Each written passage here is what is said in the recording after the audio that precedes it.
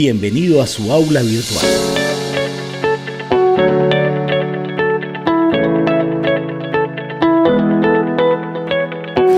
Para crear una sala de Zoom, luego de ingresar, active la edición del aula. En el bloque de clases, haga clic en añadir una actividad o recurso. Busque la opción Reunión de Zoom.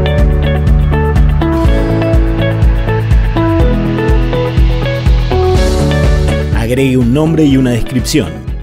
Configure fecha y horario y si lo desea, una contraseña de acceso a la sala. El sistema proveerá una clave de manera automática. Recuerde que cada sesión no podrá superar las 3 horas. Hechas las configuraciones necesarias, guarde los cambios. Compruebe la configuración e ingrese a la reunión presionando el botón correspondiente.